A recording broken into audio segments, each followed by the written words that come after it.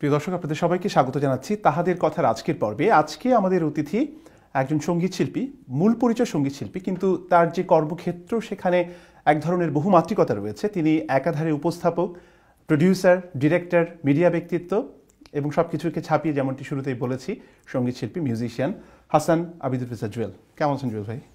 Thank you ভাই আমাকে আজকে আমন্ত্রণ করার জন্য আপনার খুবই ভালো লাগছে আপনার সঙ্গে কথা বলব কেননা আপনার যেমনটি বলেছি যে আপনার যে কাজের ক্ষেত্র সেখানে যে বহুমাত্রিকতা তার অনেক কিছুই আমরা যারা দূর থেকে আপনাকে দেখেছি বা কাজ থেকে দেখেছি আমাদেরকে মুগ্ধ করেছে। তো শুরুটা আসলে করতে চাই মানে যদি ছোটবেলা থেকে শুরু করি আমার মনে হয় আপনাকে জানতে সুবিধা হবে কারণ আমাদের অনুষ্ঠানের প্যাটার্নটাই এমন যে আমরা একজন মানুষকে একটু গভীরভাবে জানার চেষ্টা করি। আপনার সম্পর্কে যতটুকু জেনেছি যে আপনার ছোটবেলাটা খুবই কালচারাল একটা আবহের মধ্যে বড় হয়েছে। আপনার বাবার কাজিন আলতাফ মাহমুদ শহীদ আলতাফ মাহমুদ তিনি আপনাকে ভীষণভাবে অনুপ্রাণিত করেছেন এবং তার যে অবস্থান বাংলাদেশের সংস্কৃতির জগতে গানের জগতে সেটা তো স্বাভাবিকভাবে অনেকের জন্য প্রেরণার।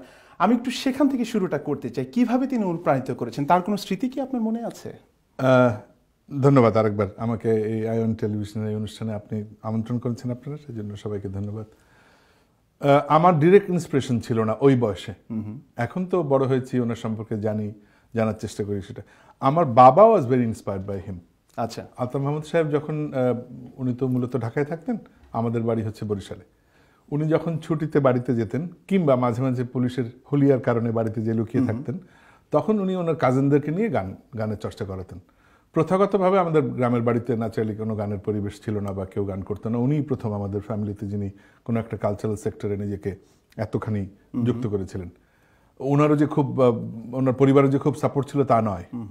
কিন্তু আমার বাবা was very inspired by him তো আমার বাবার ওই আমার মতো করে গানটাকে আর প্রফেশনালি অত দূর টেনে নেননি।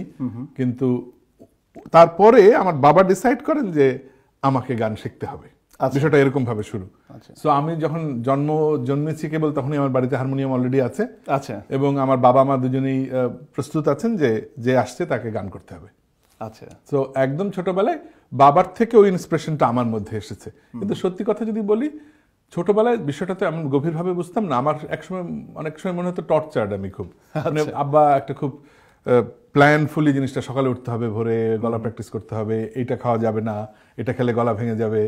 অনুষ্ঠানের আগে এতদিন প্র্যাকটিস করতে হবে আচ্ছা কি গান করবা ইত্যাদি নিয়ে বাবার যে কনসার্ন ছিল এখন আমি বুঝি যে উনি যদি ওইটুকু না করতেন আম্মা যদি ওই হেল্পটুকু না করতেন তাহলে শিল্পী জুয়েলের সাথে আপনাদের দেখা হতো না। কিন্তু তখন মনে হতো আমাকে গান গাইতে হবে কেন? রাইট তো ওইভাবেই শুরু। পরবর্তীতে বাবা তার যে অনুপ্রেরণা আলতাফ আহমদ সাহেবের কাছ থেকে সেটা আমার মধ্যে উনি স্প্রেড করতে উনি করেছেন এবং আমি যখন আস্তে আস্তে বড় হয়েছি চাচার কথা শুনেছি কিন্তু চাচার একদম সম্মুখ স্মৃতি আমার মনে নেই কারণ উনি তো একাত্তরে শহীদ হয়েছেন তখন আমার যা বয়স ছিল সেই বয়সে ওরকম স্মৃতি থাকার কথা নয় আর কি.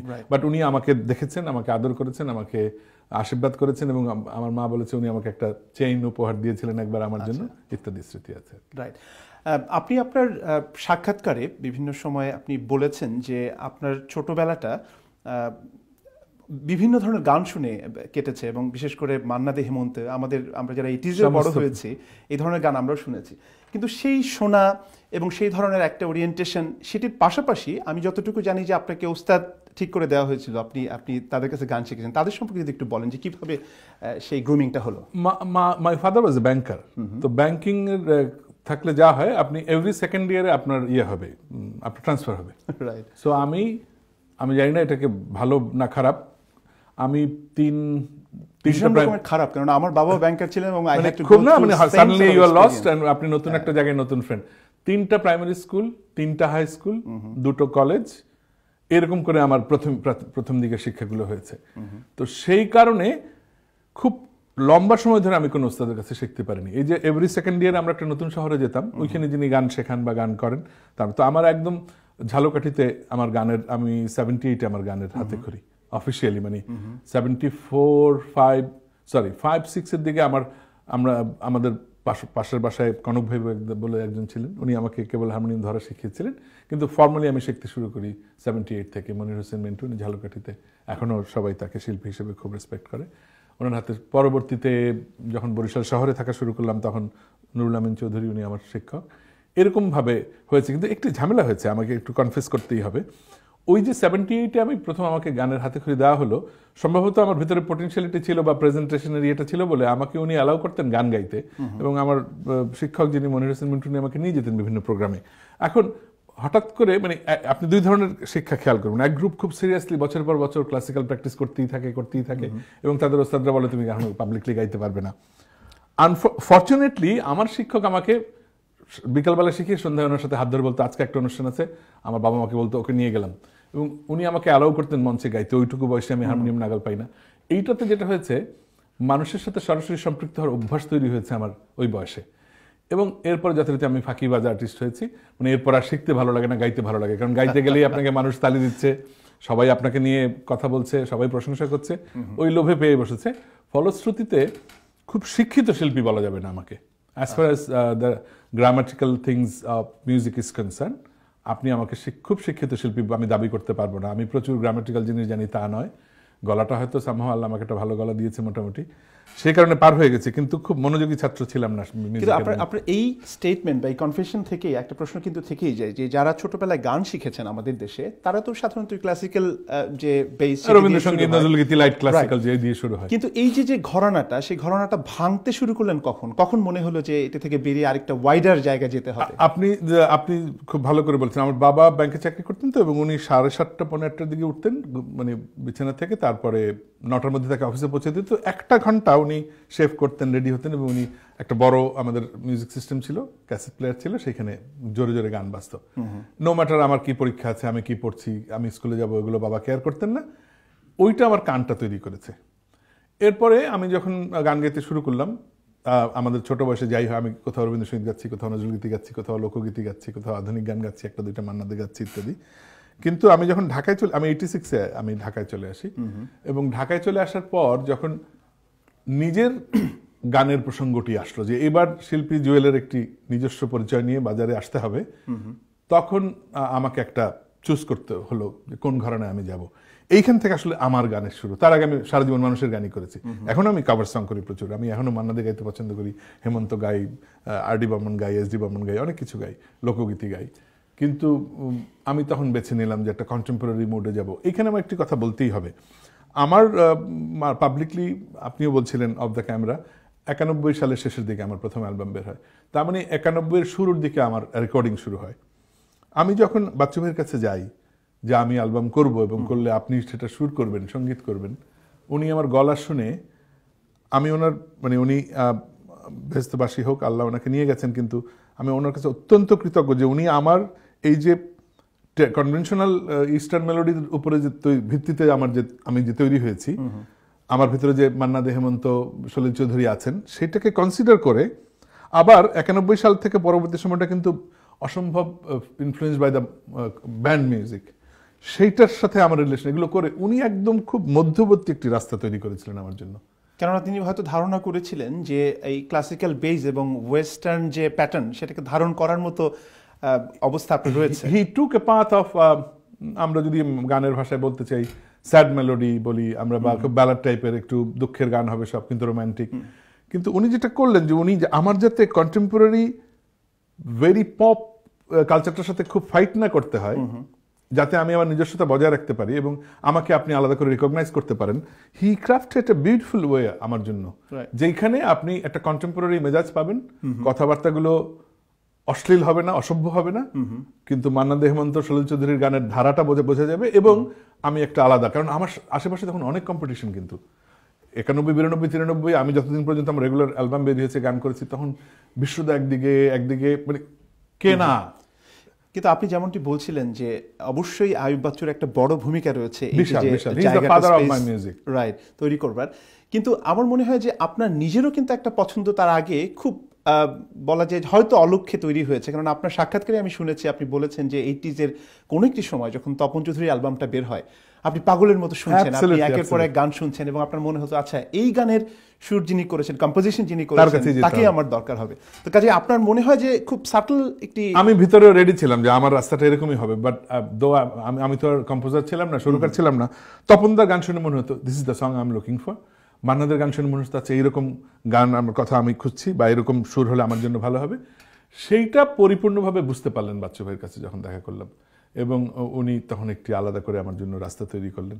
সেই কারণেই এখন পর্যন্ত খুব অল্প গান করার পরেও বা খুব কমার্শিয়ালি সাকসেসফুল আমি শিল্পী আমি আমাকে বলব না। তারপরেও অজস্র মানুষ আমাকে মনে রেখেছেন। আমি অত্যন্ত কৃতজ্ঞ তাদের কাছে এবং এখনও সবাই বলে যাচ্ছে এই হচ্ছে শিল্পী জুয়েল। যেমন আপনি বললেন আমার bread and butter comes from something like this what we are doing here behind the ক্যামেরার মানুষ আমি। আমার কিন্তু সংগীত আমার ফুল টাইম পেশা নয় কখনোই। ইনফ্যাক্ট পেশা নয়। কিন্তু মানুষ আমাকে শিল্পী জুয়েল হিসেবে চেনে। এটা আমি অত্যন্ত কৃতজ্ঞ এবং আহ, এইটার জন্য মানে ওই গানের একটা আলাদা জায়গা যে বাচ্চাভাই তৈরি করে দিয়ে গেছেন তার প্রতি কৃতজ্ঞতা শেষ নেই আমার। আমরা একটু শুরুর দিকে যেতে চাই। শুরুর দিকে বলতে প্রথম অ্যালবাম প্রসঙ্গে একটু আসতে চাই। আমি জানি যে এই প্রশ্নের উত্তর আপনাকে অসংখ্যবার দিতে হয়েছে কিন্তু তারপরেও আমি খুব পার্টিকুলারলি যদি বলি যে একটা ওই সময়ে নাইনটিজের শুরুর দিকে একটা অ্যালবাম বের হওয়া মানেই হচ্ছে একটা সন্তানের পিতা হওয়া মানে সন্তান জন্ম দেওয়ার যে অনুভব সেরকম একটি ব্যাপার। তো কুয়াশা প্রহর যখন প্রথম বের হলো সেই অনুভূতিটা একটু জানতে চাচ্ছি যে কেমন লাগছিল কীরকম ফিডব্যাক ছিল এটা আনএক্সপেক্টেড ছিল। আপনি যদি ওই সময় ফিরে যান আপনি খেয়াল করবেন কেন একটি লোক টেলিভিশনে গান গাইবে এবং কেন একটি মানুষের অ্যালবাম বের হবে? কেন একটি সাক্ষাৎকার বের হবে বিনোদন কলামে তার? এগুলোর জন্য অনেকগুলো জিনিস আপনাকে পার হতে হতো। It was not easy Facebook এগুলোতে কিছুই ছিল না। সো আমাদের মতো শিল্পীরা তখন আমাদের মতো যারা আমরা গান করতাম আমরা কিন্তু ভাবতেই পারতাম না আমাদের একটা অ্যালবাম বের হবে। এটা তো অনেক দূরের ব্যাপার। এরপরে আমি এইটি সিক্সে ঢাকায় চলে আসি অ্যাজ আই সেইড এবং গান তো গাচ্ছিলাম টিএসসি বেসড কালচারাল অ্যাক্টিভিটির মধ্যে জড়িত ছিলাম। ততক্ষণে আমার সাথে ঢাকার বিভিন্ন বড় বড় শিল্পীদের মাঝে মাঝে দেখা হচ্ছে। ওনারা গান করেন আমিও তারা ওনাদের আগে গান গাই। দু একজন বলেন তোমার গলা খুব ভালো ইত্যাদি চলছে। তখন আমাদের আবৃত্তি শিল্পী শিমুল মুস্তফা, উনি একদিন বললেন, তোর এখন অ্যালবাম বের হওয়ার সময় হয়েছে, বয়স হয়েছে। Is very close friend of mind খুবই দারুণ সম্পর্ক আমাদের দুজনের। তাই আমি বললাম যে, আমার গান কে বের করবে? বলল যে, না আই নো সামান আমি একজন প্রডিউসারকে চিনি, যিনি আমার কবিতাগুলো প্রকাশ করেন, বেতার জগতের কচি ভাই। উনি ভদ্রলোক মানুষ, উনি বুঝবেন তোর ভ্যালুটা তো উনি কিন্তু আসলে ইনিশিয়েটিভ নেন এবং আমার বলতে দ্বিধা নেই কচি ভাইয়ের সাথে ওনা আমাকে দেখা করিয়ে দেওয়া তা আমাকে আমার গান শোনানো, তাকে রাজি করানো, এবং প্রিলিমিনারি ইনভেস্টমেন্টও কিন্তু শিমুলের। শিমুলদা কিন্তু একদম নিজের পকেটে টাকা দিয়ে বলছে ওকে এইটা দাও বাচ্চা ভাইকে দিয়ে রেকর্ডিং শুরু করো তারপর দেখছি কি করা যায়। তো এরপরে আমি গেলাম বাচ্চু ভাইয়ের কাছে আমার এক বন্ধুর থ্রুতে আমি বাচ্চু ভাইকে চিনতাম না বাচ্চু ভাই আমাকে চিনতেন না। আমি একদিন গেলাম উনি আমার ওনার বাসায় আমাকে বিকালের দিকে সাড়ে তিনটা চারটার দিকে উনি প্রথমে বললেন খেয়েছো কিনা? আমি বললাম যে আসলে তখন তো আমরা সিঙ্গারা খেয়ে টিসিতে মনে করি লাঞ্চ করেছি। তো উনি খেতে দিলেন এবং আমি দশ মিনিট পনেরো মিনিট যাওয়ার পরেই বুঝলাম যে আমি একজন ট্রু মিউজিশিয়ানের বাসায় আসছি। হু আন্ডারস্ট্যান্ড মানে যার হিউম্যান কোয়ালিটি ইটাও কোয়ালিটিটাও ডিফারেন্ট হ্যান্ডেলিং এর প্রসেসটাও ডিফারেন্ট সো এবং তারপর উনি আমার গান শুনলেন এবং উনি কিন্তু বললেন যে আচ্ছা ওকে আই নো কি করতে হবে তোমাকে নিয়ে। এবং আমি ওই সময় আমার মতো আমার মানে আমার মতো বলতে ওয়েল সম্ভবত গলাটা ভালোই ছিল। আমি বলছি যে আমার প্রোফাইলের কোনো শিল্পীর অ্যালবাম বেরোচ্ছে সোলো অ্যালবাম প্রথমেই সেটা একটা অকল্পনীয় ব্যাপার ছিল। সেটার পেছনে অনুঘটক হচ্ছেন একটি হচ্ছেন আমার ভাগ্য অফকোর্স শিমুল মুস্তফা অফকোর্স বেতার জগতের আজিজুর রহমান কোচি দ্য প্রডিউসার অফকোর্স এবং বাচ্চু ভাই ডান এগুলো অনুঘটক হিসেবে কাজ করেছে। এবং এবং ওই সময় কিন্তু একটা অ্যালবাম বেরোলে পরদিন পত্রিকাওয়ালারা আপনার নিউজ করতো না। আপনাকে মানে পরীক্ষা দিতে হতো এক ধরনের কে কোথায় কবে আসলো কি বুঝে নেই। তো সেই সব পার হয়ে তারপর নাইনটি ওয়ানের শেষের দিকে অ্যালবামটি বের হওয়ার পর মানুষজন আমাকে চিনতে শুরু করলেন এবং আমার নাম হয়ে গেল কুয়াশা প্রহর জুয়েল। তারপর আমি লম্বা ঝুটি রাখলাম সেই কারণে নাম হলো ঝুটি জুয়েল। আয়ুব বাচ্চুর ভাই জুয়েল ইত্যাদি সেটা আমার জন্য আসলেই একটা দারুণ এক্সপেরিয়েন্স ছিল এবং I was very lucky I was very lucky আপনার প্রথম অ্যালবাম নিয়ে মানে যখন মানুষ আপনার গান চিনতে শুরু করছে পছন্দ করতে শুরু করেছে এরকম অসংখ্য ঘটনা রয়েছে। একটি ঘটনা আপনি কোনো একটি সাক্ষাৎকারে বলেছিলেন যে আপনি নিজেই কেমন মানুষের ফিডব্যাক বা যারা বিক্রি করছে ক্যাসেটগুলো সেটি জানবার জন্য একটি দোকানে গিয়েছিলেন এবং তারা আপনাকে চিনতে পারেনি। একটু যদি বলেন আমাদের দর্শকদের জন্য। যা হয় যে আমরা আমি খুব কিউরিয়াস ছিলাম যে আসলে কি অ্যালবাম বিক্রি হচ্ছে আসলে কি মানুষ শুনছে। টাকাটা কখনোই আমার কাছে মুখ্য ছিল না। I was not looking for how business was made আমি লুকিং যে মানুষ শুনছে কিনা।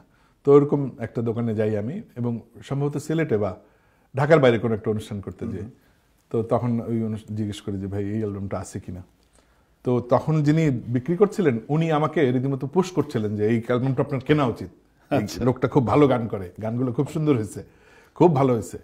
খুব নাম করবে সে। আয়ুব বাচ্চুর ভাই। হ্যাঁ ইত্যাদি ইত্যাদি। সামহা উনি আমার তখনকার সেদিনকার পোশাক আশাক বা কোনো কারণে উনি আমাকে রিকগনাইজ করতে পারেননি। অথবা হয়তো হেয়ার কাট ডিফারেন্ট ছিল। তো তখন খুব ন্যাচারালি আপনি বুঝতে পারেন। মানে আপনি মনে করে দেখুন, আপনি প্রথম যেদিন উপস্থাপনা করলেন, তারপর কেউ একজন আপনাকে ফিডব্যাক দিচ্ছে, রাস্তায় আপনাকে কেউ চিনতে পারছে, সেগুলোর তো একটা আলাদা অনুভূতি হয়। তখন মনে হচ্ছে, যাক, একটা ভালো কাজ করছি, নিশ্চয়ই মানুষ চিনতে পারছে। খুব ইয়ে ছিল মানে খুব ইন্সপায়ারিং ছিল আবার একটুখানি মন খারাপ হয়েছে উনি আমাকে চিনলেন না। এরকম আমার অনেক হয়েছে রাস্তাঘাটে যে, আমার গান নিয়ে কথা বলছে, আমার গান গাইছে একজন কিন্তু সে জানে না, এটাই আমি। কারণ তখন আসলে তো আমরা এই এরকম সোশ্যাল মিডিয়াতে ছড়িয়ে দিতে পারতাম না যে, আমার একটি গান আসছে আগামীকাল। মানুষ একজন চিনত না। অজস্র অনুষ্ঠানে গিয়েছি কলেজে বিভিন্ন কলেজে এবং তখন না, জানেন, তখন বুলবুল মানুষ কিন্তু এরকম খুঁজতও না। আমি যে শত শত কলেজে গান করেছি তখন সব বিখ্যাত শিল্পীদের তো সব কলেজে এফোর্ড করতে পারতো না। আমাদেরকে নিয়ে যেত কম পয়সায়। কোনোদিন কিন্তু কেউ জিজ্ঞেস করেনি যে কত বড় স্টার একে তো চিনি না, একে দেখিনি। অনুষ- কলেজে গান হবে, ছেলেমেয়েরা আসতো, আট হাজার, দশ হাজার, পাঁচ হাজার, সাত হাজার মানুষ। আমরা সাউন্ড লাগাতাম, গান করতাম, সবাই equivalent- সবাই মজা করতো, সবাই ই করতো এবং আচ্ছা এই লোকের নাম জুয়েল, এইটা বলে বাড়িতে যেত। কোনো সমস্যা হয়নি। এখন সমস্যাও বেড়েছে উইংসও বেড়েছে জানাবার জানিয়েও কোনো লাভ হচ্ছে না সেটাও বেড়েছে খুব কমপ্লিকেটেড কিন্তু তখন অনেক অনেক আরাম আরামদায়ক ছিল অভিজ্ঞতাগুলো। এই আলোচনা আমরা আবারও ফিরবো। জুল ভাই প্রিয় দর্শক আমাদেরকে একটা ছোট্ট বিজ্ঞাপন বিরতিতে যেতে হচ্ছে। আমরা চলে যাচ্ছি ছোট্ট একটা বিজ্ঞাপন বিরতিতে। এরপরে হাসান আবিদুর রেজা জুয়েলের তার যে সঙ্গীতের পথ চলা সেই বিষয়ে এবং তার সঙ্গে গণমাধ্যমের সঙ্গে তার যে সম্পৃক্ততা সেই বিষয়গুলো নিয়ে কথা বলব। সঙ্গে থাকুন।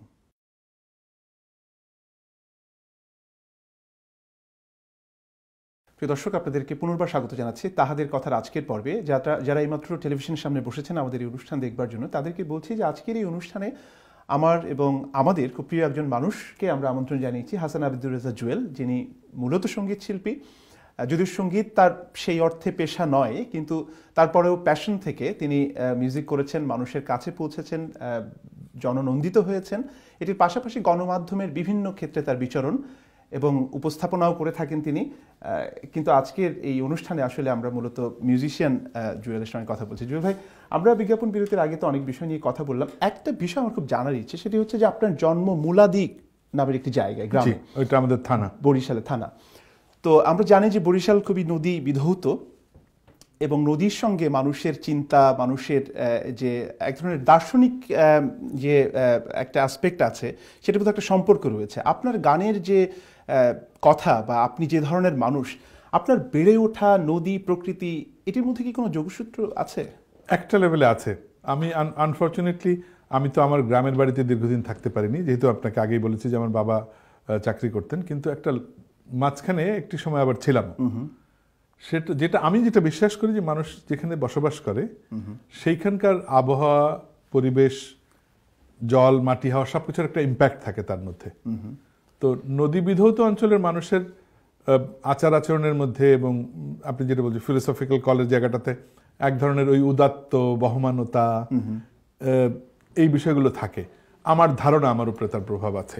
এটা আমার ধারণা। এই জীবনে প্রথম এরকম করে বিষয়টা কেউ ইঙ্গিত করল আপনার মতো করে কেউ কখনো বলেনি বাট আমি বিলিভ করি যে এটা ইট ইট ম্যাটার্স অ্যালট এবং এটা সাইন্টিফিক্যালিও মানে জিনিসটা সত্যি। যেমন আমি জাস্ট আলোচনার খাতিরে বলি আপনি কিন্তু সুন্দরবনের মধু লন্ডনে বসে খেলে কোনো লাভ হবে না। মধুর যে উপকারিতার কথা বলে আপনাকে লন্ডনে মধু খেতে হবে। কারণ পরাগায়নের মধ্যে ওই জল আবহাওয়ার মধ্যে ওই মেডিকেল মেডিসিনাল গুণগুলো ভ্যারি করে। সো কেউ যদি ভাবে আমি অস্ট্রেলিয়ান মধু খেয়ে লন্ডনে অনেক উপকার পাবো ইট উইল নট হ্যাপেন আপনি যেটা বলছেন বিষয়টা তাই। আসলে এর মধ্যে। এবং বরিশাল অঞ্চলের মানুষের মধ্যে যে ধরনের আচার আচরণ আছে তাদের জীবনযাত্রা সেগুলোর প্রভাব আমার ধারণা আমার গলার মধ্যে আছে। আরেকটি বিষয় সেটি হচ্ছে যে আপনার প্রথম অ্যালবামের একটি গান যেটি অনেক পরবর্তী সময় জনপ্রিয়তা পেয়েছে কিন্তু তাৎক্ষণিকভাবে হয়তো সেদিনের এক বিকেলের মতো জনপ্রিয়তা পায়নি কিন্তু আমার খুব পছন্দের মানে বিশেষ করে গানের কথাগুলো যখন আমি নিজে চিন্তা করি যে কোথায় রাখো আমাকে হ্যাঁ এই এই গানটির যে লিরিক্স সেটি কি বাচ্চু ভাই নিজের করা? বাচ্চা ভাই নিজের লেখা। আচ্ছা কম্পোজিশন ওনার। কম্পোজিশন তো বটেই। আমার তো মোট দশটা অ্যালবাম তার মধ্যে সাতটাই সাতটারই ওনার কম্পোজিশন ওনার সুর। এইটা বাচ্চু ভাই কিন্তু খুব কম গান লিখেছেন সারা জীবনে। কিন্তু যেগুলো লিখেছেন সেগুলো সব শ্রোতাপ্রিয় হয়েছে। এর একটি কারণ সম্ভবত এন্ড অফ দ্য ডে মানুষ খুব এমন একটা কিছু শুনতে চায় যেটা সুর কথা গায়কী সবকিছু তার পরিচিত মনে হয়। তো কোথায় রাখো আমাকে গানটা যেটা আপনার আমি জেনে খুব ভালো লাগল যে এটা আপনার পছন্দের গান। এই গানটা অ্যাবসলিউটলি আমাদের একদম বাংলাদেশের মতো করে প্রেমের একটা বর্ণনা যার মধ্যে কোনো কঠিন শব্দ নেই। কোনো এমন কিছু মানে কোনো ভাববোধক কথাবার্তা নেই। It's very plain plain and simple statement it which came with a very beautifully মানে বিছানাটা করা হয়েছে খুব সুন্দর। আমাদের আমাদের পোস্টের ভাষা একটা বলি যে বেড মিউজিক যেই বিছানাটার উপরে আমি আমার গলাটা শুয়েছে that was so nicely done উনি এত সুন্দর করে শুরু করেছেন যে এটা খুবই অ্যাপেলিং ছিল। আমার খুবই প্রিয় একটা গান। জেনে খুব ভালো লাগে। শুনতে পারি? কোথায় রাখো আমাকে তুমি বলো না? দৃষ্টি না হৃদয়ে আমি জানি না। কোথায় আছি আমি তা জানি না। তোমার সুখে না দুঃখে তুমি বলো না। তো খুবই স্বাভাবিক, সাধারণ কথা। চমৎকার একটা চলন, আপনাকে কোথাও উষ্টা খেতে হবে না। এই জন্য এই গানটার খুব অ্যাপিলটা একদমই অন্যরকম ছিল। I very glad to know যে আপনি গানটা পছন্দ করেছেন।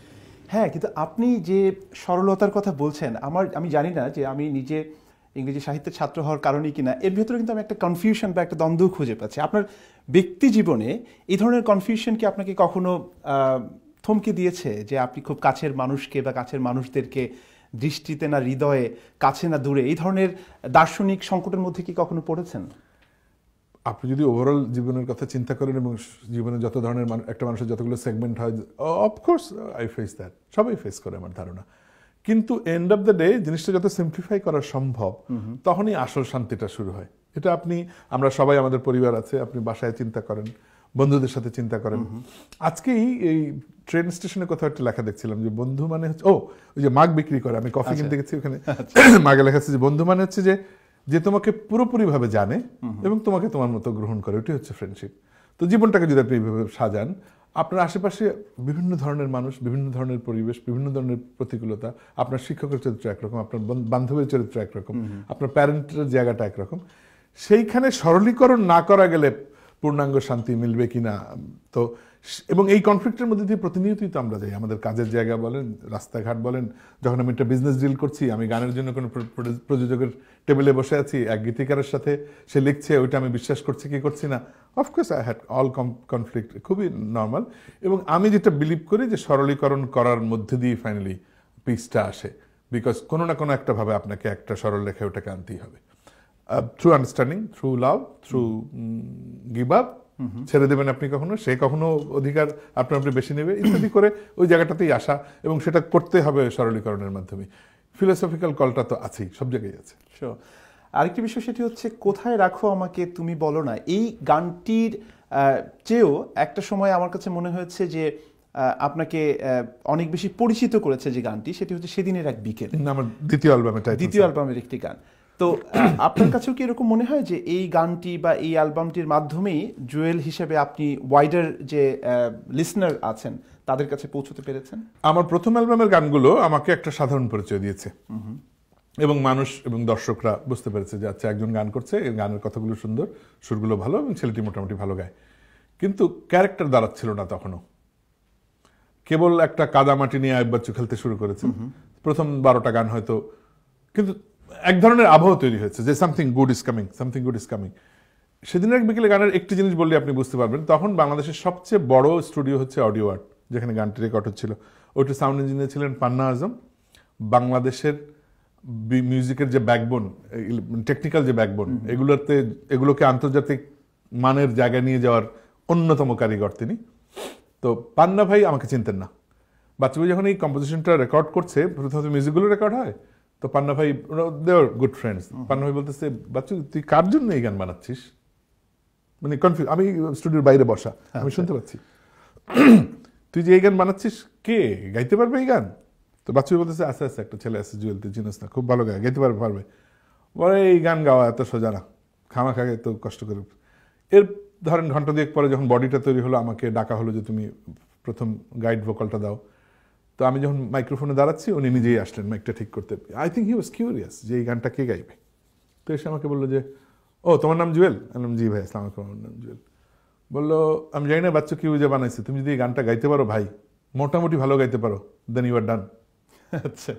And he was so true he was so correct যে আমারও মনে হয়েছে যে আচ্ছা তাহলে আমাকে এটা দিয়েই প্রমাণ করতে হবে যে আমি আমি ডিফারেন্ট এবং রেস্ট ইজ হিস্ট্রি বিকজ ওই গানটা দিয়ে যেটা হয়েছে এই গানটা একটা অদ্ভুত ক্যারেক্টার আছে। এটা এটার মধ্যে ইন্টেলেকচুয়াল রিফ্লেকশনস আছে কিন্তু। আপনি এই গানের কথাবার্তার মধ্যে গভীরতা আছে। এই গানটা একই সাথে সাধারণ মানুষও গ্রহণ করেছে যিনি এইগুলোর জটিলতায় যেতে চায় না। অসাধারণ মানুষরাও অ্যাকসেপ্ট করেছে যারা একটু ক্রিটিক্যালি ভাবে। সমালোচকদের দৃষ্টি আমি অ্যাটেনশন পেয়েছি মিউজিশিয়ানদের অ্যাটেনশন পেয়েছি So, একটা বহুমাত্রিকতা আছে এই গানটার মধ্যে। ওই গানটা আসার পরে বিভিন্ন ক্রস সেকশন অফ পিপল যখন বলতে শুরু করল গানটি ভালো গানটি ভালো গানটি ভালো। মানে মিডিয়াতেও বলা শুরু হলো পত্রিকায় যখন আমাকে নিয়ে সাক্ষাৎকার দিচ্ছে দুই লাইনে চার লাইন তখন তারাও বলতে শুরু করল এক বিকেলের খ্যাত জুয়েল। এই করে পুরো এটা তৈরি হলো। এবং এই অদ্ভুত একটা জিনিস আমি আবিষ প্রথম আবিষ্কার করলাম যে আসলে একাধারে আপনি চাইলে সবগুলো দিককেই অ্যাড্রেস করতে পারেন। এবং সম্ভবত যে পরবর্তী সময়ে যে সাতটি অ্যালবাম আয়ুব বাচ্চুর সঙ্গে করেছেন আপনি সেটির কেমিস্ট্রির যে এক ধরনের মানে স্ট্রঙ্গার একটি জায়গা সেটিও বোধহয় তৈরি হয়েছে। সেকেন্ড অ্যালবাম সেকেন্ড অ্যালবাম হ্যাঁ কারণ প্রথম অ্যালবামের সময় আমিও ওনার কাছে একটা স্ট্রেঞ্জার ছিলাম। ওনার বন্ধুত্ব ভালোবাসার জায়গাটা তো অত তৈরি হয়নি। উনি আমাকে চিনেছেন, আমি ওনাকে চিনছি, ওনার পরিবারদেরকে চিনছি, ওনার সাথে সময় কাটাচ্ছি। তো সেকেন্ড অ্যালবাম যখন হয় মানে প্রথম অ্যালবামের পরে না, বিষয়টা এমন হয়ে গেল যে আপনি খেয়াল করবেন রেগুলার অন্য মিউজিশিয়ানদের ক্ষেত্রে যে দশটা অ্যালবাম আমার, তার মধ্যে সাতটি বাচ্চা হয়। অন্য তিনটি, অন্য তিন জনের সাথে হওয়ার অফিসিয়াল রিজন আছে। কিন্তু এটাই অবভিয়াস ছিল বাজারে, জুয়েলের গান হবে এবং সেটা আইব বাচ্চি করবে। কেন এটা হলো? সবাই এক- এরকম ভাবতেই শুরু করল। প্রডিউসারও ভাবলো এটা তো বাচ্চু ভাই করবে। আমি তো বাচ্চু ভাই করবে বাচ্চু ভাই জানে আমিই তো করব ওর গান আর কে আচ্ছা। করবে। এটা তৈরি হওয়ার জন্য আমাদের প্রথম অ্যালবামটা দরকার ছিল। সো এন্ড অফ দ্য প্রথম সেকেন্ড অ্যালবাম থেকে আমরা টের পেতে শুরু করলাম যে আমাদের কমিউনিকেশন আমাদের দুজনের আন্ডারস্ট্যান্ডিং আমাদের এই- বন্ধুত্ব বা ভাই সুলভ সম্পর্ক আমার গলাটাকে চিনতে পারা বুঝতে পারা ইত্যাদি বিষয়গুলো এই ভদ্রলোকের মতো আর কেউ জানেন না। সেদিনের এক বিকেলের গীতিকার সৈয়দ আওলাদ যতটুকু জানি এবং অবশ্যই কম্পোজিশন তার। আপনার আপনার গানগুলোর ক্ষেত্রে আমি লক্ষ্য করেছি যে লিরিক্স খুবই ইম্পর্ট্যান্ট মানে অবশ্যই গায়কি বা এটির সুর কম্পোজিশন সেটা তো আছেই। কিন্তু সেটার পাশাপাশি আমার কাছে মনে হয়েছে যে যিনি আপনার জন্য গান করছেন এবং আপনি যেহেতু গান গাইছেন এই বিষয়গুলোর ব্যাপারে আপনারা খুবই সিলেক্টিভ খুবই চুজি মানে ইফ আই নট আমরা চেষ্টা করেছি। সর্ব সবসময় পারি- পেরেছি বলা যাবে না। বাচ্চাদের সাথে আমার একশোর উপরে গান। আমার বাপ্পার সাথে গান আছে গোটা পনেরো। প্রণবদার সাথে গান আছে গোটা অভিষেক তো আমার কোর ইয়েটা ছিল কিন্তু বাচ্চাদের সাথে। কোর যাই বলেন, জুটি বলেন আর যাই বলেন। গানের শব্দ চয়ন এবং গানের গীতি গীতি গীতিকারদের সাথে যখন আমরা বসতাম, কথা বলতাম, আমরা ফর্চ আই ওয়াজ ভেরি ফর্চুনেট যে বাচ্চা ভাই বিশ্বাস করতেন যে জুয়েলের গানগুলোর সময় লিরিকগুলো একটু বুঝতে হবে, কেন বুঝতে হবে? এবং এটা আসলে আপনি যদি অ্যালবামের নামগুলো খেয়াল করেন, এটা একটা কবিতার মতো, কুয়াশা প্রহর সেদিনের এক বিকেলে আমার আছে অন্ধকার একটা একটা মানুষ আর দেখা হবে না বেশি কিছু নয় দরজা খোলা বাড়ি এই হচ্ছে সাতটা অ্যালবাম বাচ্চাদের সাথে আমার। So I had that freedom to choose he also took the ইয়ে যে না আমি গানগুলো তাহলে একটু দেখতে হবে। রাইট কারণ বাচ্চুভের মতো ওরকম ব্যস্ত এবং জনপ্রিয় কম্পোজারের কাছে কিন্তু প্রতিদিন হাজার হাজার লিরিক আসতো। যারা নতুন লিখছেন মফস্বল থেকে পাঠাচ্ছেন নতুন কবি পুরনো কবি প্রতিষ্ঠিত গীতিকার অপ্রতিষ্ঠিত গীতিকার, এরকম আমাদের চোখের সামনেই প্রতিদিন স্টুডিওতে শত শত খাম আসতো। এবং উনি কিন্তু সময় পেলে পড়তেন এগুলো। এবং এক দুইটা ওরকম একদম আননোন লোকের গান যে আমি করিনি তা কিন্তু নয়। ওনার লিরিক ভালো লেগেছে, আমাকে বলেছে। Of course he was the main authority but he use to give me that freedom দেখতো এইগুলো আচ্ছা এই বিষটা আলাদা করছি তোর এবার অ্যালবামের জন্য, তুই একটু দেখ। আম- আমরা আসলে আমি ভেরি ফর্চুনেট যে উনি এই সুযোগটা আমাকে দিয়েছেন এবং নিজেও খেয়ালটা রেখেছেন যে এই কথাগুলোর মতো করে গান হতে হবে। আমাদের আরেকটা বিজ্ঞাপন বিরতিতে যেতে হবে কিন্তু বিজ্ঞাপন বিরতির আগে আপনার এই সেদিনের এক বিকেলের গানটি আমরা দুটি লাইন শুনে তারপরে বিরতিতে যেতে চাই। মানে আমি গাইবো? জি দুটো লাইন যদি। সেদিনের এক বিকেলে তোমার চোখে জল দেখেছি। সেদিনের এক বিকেলে তোমার চোখে জল দেখেছি। সে কথা আমি কত রাত একা একা ভেবেছি, আর জানি না কেন এত কষ্ট পেয়েছ তুমি। সে কথা আমি কত রাত একা একা ভেবেছি আর জানি না কেন এত কষ্ট পেয়েছ তুমি। সে কথা আমি কত রাত একা একা ভেবেছি, আর জানি না কেন এত কষ্ট পেয়েছ তুমি। সেদিনের এক বিকেলে তোমার চোখে জল দেখেছি।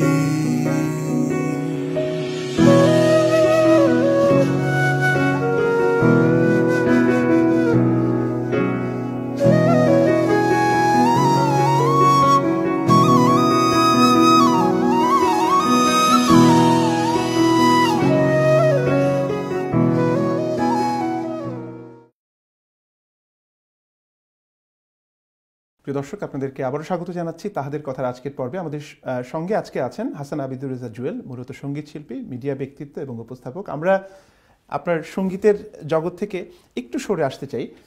গণমাধ্যমে যেহেতু আপনার সক্রিয় বিচরণ আমরা দেখতে পাই এটাকে তো আপনি পেশা হিসেবে নিয়েছেন মানে আপনি প্রডিউসার ডিরেক্টর বুঝে শুনে। এটা কি খুব হঠাৎ করেই চিন্তাটা আসলো যে মিডিয়াতে যাব নাকি ছোটবেলা থেকে না না দুটো- দুটো কারণ আছে পিছনে। একটি হলো আর্টের সবগুলো ফর্মই তো একটা সময় সে কমোডিটি হয়। আপনিও ভালো করে জানেন সেটি। এই কমোডিটি যখন হয়, যখন আপনি বিক্রি করতে শুরু করবেন, তখন অনেক ধরনের ক্রাইসিস তৈরি হয়। এই ক্রাইসিসে কেউ কেউ ভোগেন, কেউ কেউ এটা ইগনোর করেন, কেউ কেউ এটা কাভার ইয়ে করতে পারেন, উত্তরণ করতে পারেন। আমি জানি না আমার মানসিক, মানসিকভাবে আমি দুর্বল লোক ছিলাম কিনা।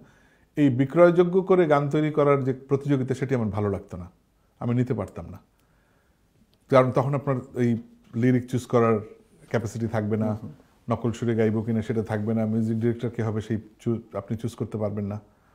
সেই ক্রাইসিস থেকে আমি এক পর্যায়ে ডিসিশন নিলাম যে আমি ফুল টাইম মিউজিক করব না মানে ফুল টাইম করব না মানে আমি প্রফেশনালদের মতো মিউজিক করব। আমি মঞ্চে গাইবো আমি অ্যালবাম করব সবই করব কিন্তু এইটা আমার ব্রেড অ্যান্ড বাটারের জায়গা হবে না। এইটা আমাকে অন্য একটা রাস্তা খুঁজে বের করতে হবে। ভালো হয় যদি এই এই প্রফেশনটাকে কমপ্লিমেন্ট করে এরকম কিছু হয়। তখন এটা এক- একদিকে যদি কনসিডার করেন আরেকদিকে হচ্ছে আমি যখন আমি বলছি এইটা এইটি ফাইভের দিকে। এইটি ফাইভে আমার একজন আমার আরেকজন কাজিন উনি মারা গেছেন আলামিন ভাই। আলামিন ভাই জাপানে থাকতেন। তো উনি দেশে ফিরলেন একবার একটা ভিডিও ক্যামেরা নিয়ে। এইটি ফোর ফাইভে বরিশালের মধ্যে একটি মফসল শহরে একটা ক্যামেরা সেটাতে রেকর্ড করলে এক্ষুনি সেটার ইমেজটা দেখা যায় আবার ভিডিও সেটাতে শব্দ রেকর্ড হয় এবং রঙিন। এটা আমাদের জন্য একটা মানে জাদুর বাক্সর মতো বিষয় ছিল। তো উনি এটা নিয়ে এসেছিলেন যে দেশে তখন কেবল ঢাকায় ভিডিওর ব্যবসা শুরু হয়েছে মানে সোশ্যাল প্রোগ্রামে মানে বিয়ে বাড়িতে গায়ে হলুদ ইত্যাদি ইত্যাদি। এই নন প্রফেশনাল সেক্টরটা কেবল গ্রো করছে। ওনাকে কেউ একজন বলেছে it will be good investment if you bring one and you can sell it আর ইত্যাদি। তো উনি সামহাও দেশে ফিরে এসছেন আর যাবেন না জাপানে। উনি ডিসাইড করলেন এইটা দিয়ে হয়তো উনি ব্যবসা বাণিজ্য শুরু করবেন এবং বরিশালে সামহাও আমার আমি উনি আমাকে বেছে নিলেন কাজিনদের মধ্যে একজন যাকে হয়তো যে এই জিনিসটা দেখতে খুশি হবে। সো উনি আমার সামনে বাক্সটি খুললেন আমাকে একটু শুটিং করলেন আমাকে একটু গান গাইতে বললেন আমি দেখে মুগ্ধ হয়ে গেলাম। ওইটা আমার মাথায় ঢুকে গেল যে এই ছোট জিনিসটার মধ্যে এত শক্তি এইটা তো একটা বিশাল সেক্টর আচ্ছা তখন আমি স্টার্ট রিলেটিং ও এইভাবেই তাহলে টেলিভিশনের প্রোগ্রাম হয় আচ্ছা এইভাবেই ফিল্ম হয় ইত্যাদি বিষয়গুলো। এইটা আমার মাথার মধ্যে রয়ে গেছিল। আমি যখন ঢাকায় আসলাম এইটি সিক্সে তখন আমি পড়াশোনার পাশাপাশি এক্সট্রা ইনকাম করার জন্য ততদিনে আলমেন ভাই উনি এইটা দিয়ে বিয়ে বাড়ির ইত্যাদি ইত্যাদি সোশ্যাল প্রোগ্রামের ব্যবসা শুরু করেছেন ওই ক্যামেরা দিয়ে। আমি ওনাকে অ্যাসিস্ট করতাম আমি লাইট ধরতাম। আচ্ছা। তখন আমি মিডিয়াটা আরও জানলাম। সো আমি যখন গানে হঠাৎ করে অল্টারনেটিভ প্রফেশন খুঁজতে শুরু করলাম আমার কাছে মনে হলো আরে এটা তো একটা দারুণ জায়গা। So in future I can relate myself to the television যদি সুযোগ হয় আমি আমি ফিল্ম মেকার হতে পারব আমি এই করতে পারব। তখন ওই বিয়েবাড়িতে কাজ করে হ্যান্ড অন এক্সপিরিয়েন্সটা নিয়ে আমি স্লোলি স্লোলি আমাকে ট্রান্সফর্ম করেছি।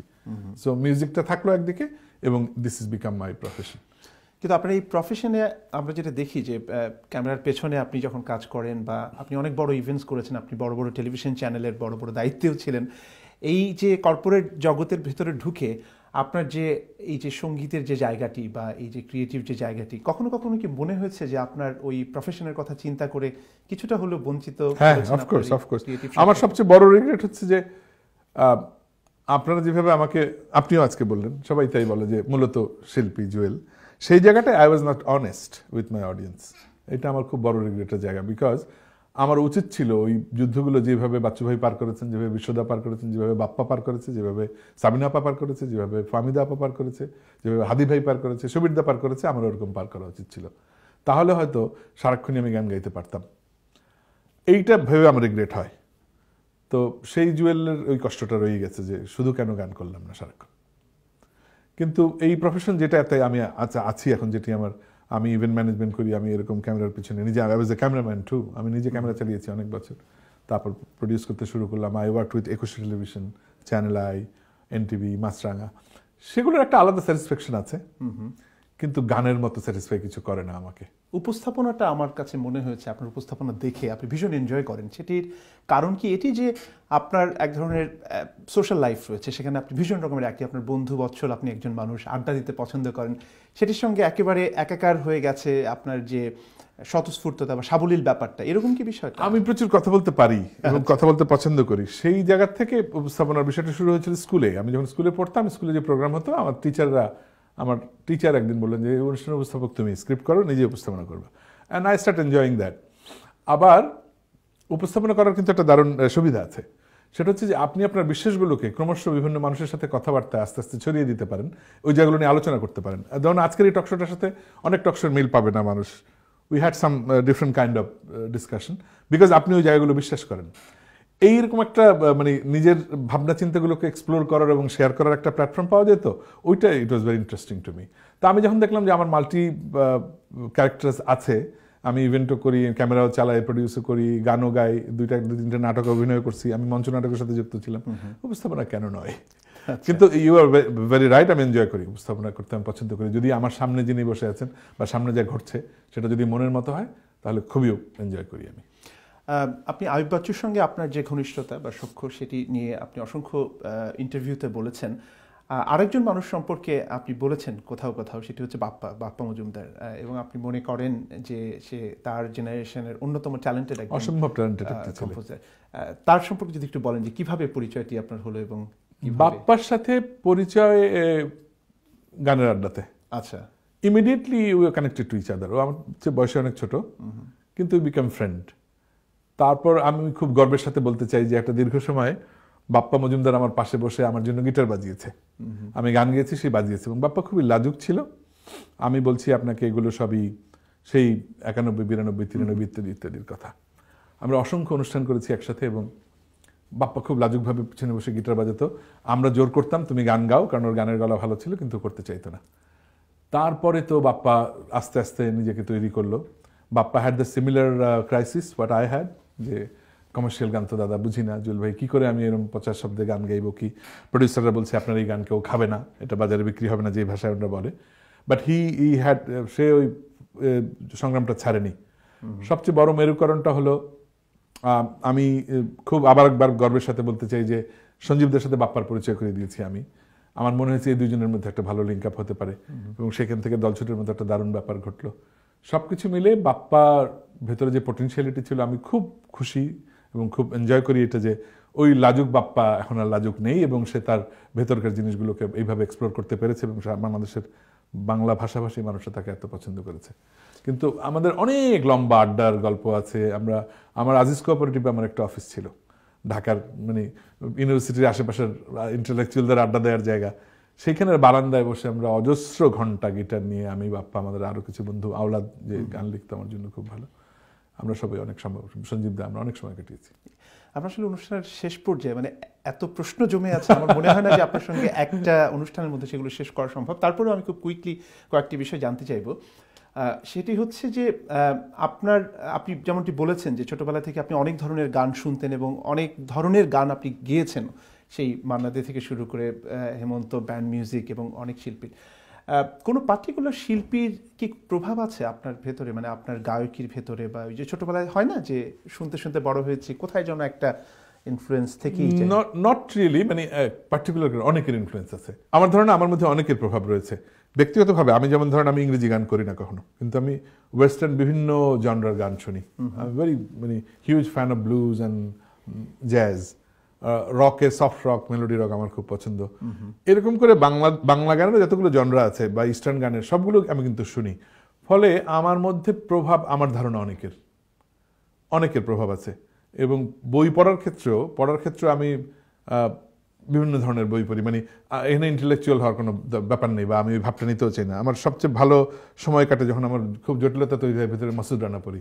দ্যাট হেল্পস মি টু মানে বুঝছেন না মেল্টেড ডাউন হতে সুবিধা হেল্প করে। সো সেই জন্য বলছি যে আমার ধারণা আমার অনেক কিছুর প্রভাব আছে আমার মধ্যে। আপনার প্রিয় শিল্পী কারা?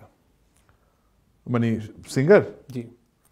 যারা গান করেন বাংলা গানের। বাংলাদেশে কন্টেম্পোরারি আমার পুরনো থেকে। আমার একদম সামিনা আপা রুনা আপা সুবির দা আমাদের হাদি ভাই আহ, আব্দুল জব্বার সাহেব আনোয়ারুদ্দিন খান সাহেব তারপরে ফেরদৌস আন্টি শামি আক্তার। এই জেনারেশনের এই জেনারেশনের সামিনা ফামিদা আমাদের একটু বড় ওনারা দুজন অসম্ভব প্রিয় আমার। এই একদম কন্টেম্পোরারি যারা গান করে তাদের মধ্যে লুইপার গলা অসাধারণ ভালো। তারপরে ওর নাম কি? আমাদের অনিমা ডিকস্টার গলা খুব ভালো ছিল। আমি আসলে সবার গানই শুনি। কার কথা বলব? কারটা বলে কারটা বলছি না সেটাতে খারাপ হয়ে যাবে। আচ্ছা। আমি সবার গান শুনি এবং আসলেই এবং একটা জিনিস জানেন তো ভাই সেটা হচ্ছে যে যেই মানুষটি জনপ্রিয় হয়, অনেকে আমরা খুব অনুবীক্ষণ যন্ত্র দিয়ে অনেক সময় বলি যে, ও তো এইটা পারে না, ও তো এই করছে। কিন্তু একটা সার্টেন কোয়ালিটি লাগেই, না হলে মানুষ এত বোকা না। সাধারণ মানুষ কোনো একটা গুণ না থাকলে কাউকে অ্যাকসেপ্ট করে না। সো যাকে আপনি খুব সুপার কমার্শিয়াল একটা বলবেন যে, আরে, ও তো কী ধরনের কথাবার্তা গান করে? কিন্তু he or she have a quality so সেইটা আমি খুব অ্যাডোর করি, কারণ আমার মনে হয় একটা কিছু না থাকলে মানুষের কাছে পৌঁছানো যায় না। আর যখনই সাধারণ মানুষ জেনারেলি একজন মানুষকে অ্যাকসেপ্ট করে ইন এনি ফর্ম তার মানে তার ভেতরে কিছু একটা আছে। বিটিভিতে আপনার প্রথম যে পারফরমেন্স সেটির পরে একটা কিন্তু দারুণ ইম্প্যাক্ট তৈরি হয়েছিল। মানে তখন তো শুধু বিটিভি ছিল অসংখ্য মানুষ আপনাকে দেখল প্রথমবারের মতো জানতে পারল যে হ্যাঁ এটাই হচ্ছে জুয়েল। মানে যিনি মারা গেছেন সেই জুয়েলের গানগুলো নয়। এরকম অনেক কনফিউশন কিন্তু ছিল। বিটিভির ওটির পরে তো একটা মারাত্মক ফিডব্যাক হ্যাঁ হ্যাঁ কারণ সেই আপনি খুব ভালো করে জানেন যে ওই সময় বিটিভি ছিল আমাদের একমাত্র সারা পৃথিবীর সাথে জানালা। দেশের সাথে এবং পৃথিবীর সাথে। ফলে বিটিভিতে প্রাইম টাইমে একজন শিল্পীর একটা গান যাবে। এইটা ছিল একদম এখন একটা কোনো গানের এক কোটি ভিউ হওয়ার চেয়েও বেশি পাওয়ারফুল এখন ইউটিউবে এক কোটি ভিউ বলে যে বলে না সবাই এক কোটি ভিউ হচ্ছে অনেক পাওয়ারফুল ছিল। এবং সেই এক কোটির মধ্যে তো অনেক ফাঁকিও রয়েছে সেটা সেটা অন্য প্রসঙ্গ বা জেনারেলি যদি এক কোটি হয় ইম্প্যাক্ট কারণ এখন মানুষের মনে ইম্প্যাক্ট কাটা খুব জরুরি। করা যায় না কিন্তু। এক কোটি লোক ভিডিও দেখেছে সো হোয়াট এক কোটি লোক ওই গানটি কিনে নেই আইটিউন্স থেকে। কিনেছে দুই হাজার লোক। কিন্তু তখন বিটিভিতে রাতে নয়টায় সাড়ে নয়টায় দশটার চাঙ্কে একটি গান যাওয়া। তো আমার প্রথম গান যখন যায় আমার প্রথম অ্যালবাম বের হওয়ার শেষের দিকে দ্বিতীয় অ্যালবামের কাজ শুরু হয়েছে কিংবা দ্বিতীয় অ্যালবাম কেবল লঞ্চ হয়েছে তখন প্রথম গান যায় ফিরোজ মাহমুদ সাহেব প্রডিউস করেছিলেন আমার একটি গান।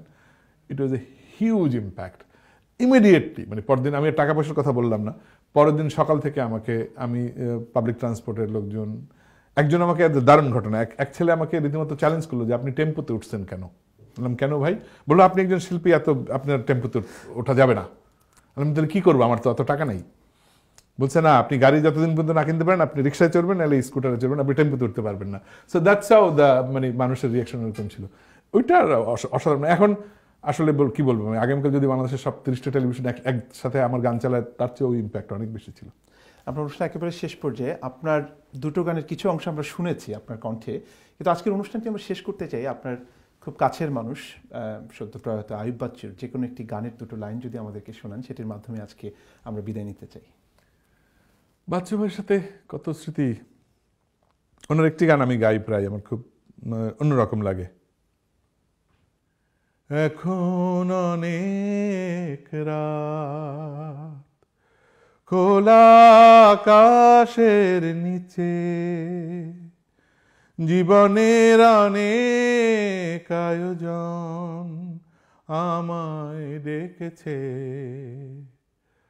তাই আমি বসে আছি দরজার পাশে অনেক ধন্যবাদ। প্রিয় দর্শক, আমরা অনুষ্ঠানের যেমনটি বলেছিলাম, একেবারে শেষ পর্যায়ে আমরা শুনছিলাম হাসান আবিদুর রেজা জুয়েলের কথা। তার যে শিল্পী হিসেবে তার যে যাত্রা, তার যে বেড়ে ওঠা এবং সেটিকে সামনের দিকে নিয়ে যাওয়া সেই সত্তা নিয়ে কথা বলছিলাম এবং আমার মনে হয় যে আমরা একটু ভিন্নভাবে হাসান আবিদুর রেজা জুয়েলকে আপনাদের সামনে উপস্থাপন করতে পেরেছি। আমি জানি যে যুক্তরাজ্য এবং ইউরোপে অসংখ্য দর্শক রয়েছেন, তার গান পছন্দ করেন তাদের জন্য এটা আমাদের একটা নিবেদন ছিল। আমরা আশা করব যে তিনি দীর্ঘজীবী হবেন এবং তার সুরের মূর্ছনায় তার যে শিল্পী সত্তা, সেটি আমাদেরকে আরও বহু বছর আমাদেরকে বাঁচিয়ে রাখবে, সক্রিয় রাখবে এবং প্রাণবন্ত করে রাখবে। সবাইকে অনেক ধন্যবাদ।